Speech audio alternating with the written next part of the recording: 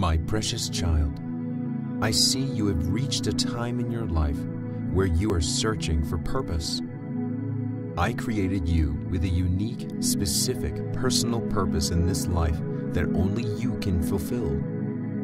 Find comfort in Jeremiah 29:11. For I know the plans I have for you, declares the Lord. Plans to prosper you and not to harm you. Plans to give you hope.